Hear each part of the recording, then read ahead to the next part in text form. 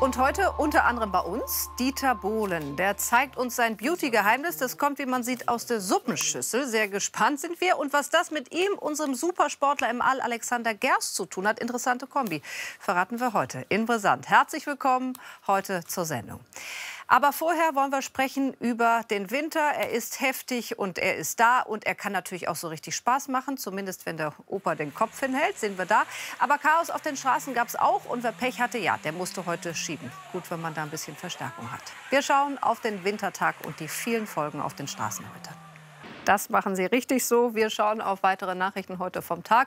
Die Berliner Polizei macht ernst, war ja so angekündigt, gegen Clankriminalität. Hintergrund ist in diesem Fall ein Überfall auf einen Geldtransporter. Das war im Oktober vergangenen Jahres. Damals fielen sogar Schüsse und das war mitten im morgendlichen Berufsverkehr. Zwei mutmaßliche Täter hat man kurz danach festgenommen. Nun sucht man mögliche Helfer und deshalb gab es heute eine groß angelegte Aktion.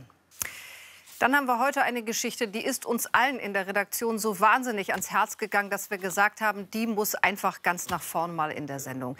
Unter anderem hat sie zu tun mit Axel Schulz, den kennen viele ja noch, der Boxer. Aber der Mann, der hat nicht nur einen harten Schlag, er hat auch ein Riesenherz, das hat er jetzt gezeigt, indem er einem sterbenskranken Mann nämlich einen Wunsch erfüllt hat. Der wollte ihn unbedingt noch mal kennenlernen. Sein Idol Axel Schulz, da sieht man die beiden. Und bei diesem Treffen hat der Mann erzählt, also eigentlich würde er gern noch mal heiraten, bevor er stirbt. Da hat Axel Schulz versprochen. Also wenn ihr euch traut, wenn ihr das macht, dann bin ich da. Und jetzt gucken Sie mal, wie das war.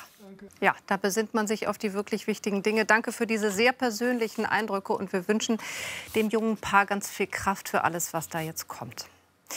Wir machen weiter mit Nachrichten vom Tage. Auf einem Campingplatz in Nordrhein-Westfalen soll sich nämlich Dramatisches passiert, äh, ereignet haben und das wohl schon über Jahre. Noch ist nicht viel darüber bekannt, aber die Polizei hat jetzt reagiert. Ja, da üben die Kleinen für später dann die Großen. Heute ist ein Urteil zum Thema Lebendorganspende gefallen, das äh, Spender stärkt und Ärzte in die Pflicht nimmt. Wir erinnern uns ähm, alle noch an einen ganz prominenten Fall, den hat es ja auch gegeben. Bundespräsident Frank-Walter Steinmeier spendete damals seiner Frau eine lebenserhaltende Niere und es ist bei Ihnen ja zum Glück alles gut gegangen. Jetzt haben aber Spender geklagt, bei denen es nicht ganz so war und die fühlten sich von den behandelten Ärzten nicht ausreichend beraten. Also wichtiges Thema mit Signalwirkung, diese Entscheidung, Lebensspende, Zahlen, Fakten, Hintergründe. Dazu auch gern mehr auf unserer Brisanz-Seite. Schauen Sie gerne mal nach. Und wir gucken jetzt auf die Prominenz. Was gibt's da heute? Sarah Ferguson unter anderem haben wir in der Sendung. Das ist die Ex-Schwiegertochter der Queen. Ähm, die verrät ein süßes Geheimnis heute. Dann haben wir Dieter Bohlen, der auf Quark im Gesicht schwört, hilft angeblich für was auch immer. Und dann gibt's Wirbel um Sarah Jessica Parker. Jetzt mehr. Und mit ihr legen wir los, denn die Fans der Serie Sex and the City sie sind ganz nervös schon. Denn seit einigen Tagen heizt Sarah Jessica Parker die Gericht Gerüchteküche ordentlich an. Das ist die Hauptdarstellerin, da sehen Sie sie, der Serie, in der es vornehmlich um ähm, Männer, Liebe und Schuhe geht, also das wahre Leben. Und seit kurzem zeigt sie sich wieder in dieser Rolle, die sie so berühmt gemacht hat. Und die Fans fragen sich, was ist da los? Gibt es vielleicht eine Fortsetzung? Wir verraten es.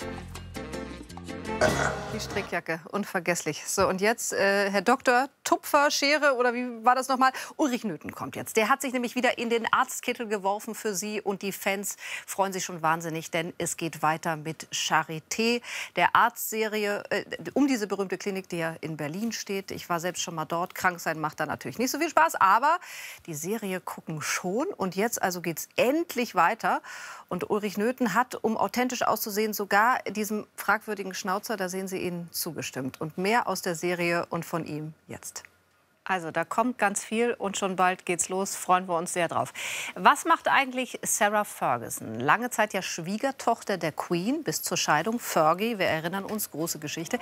Gestern Abend war sie tatsächlich nach sehr langer Zeit mal wieder zu Besuch in Deutschland und zwar bei der Lamberts Night.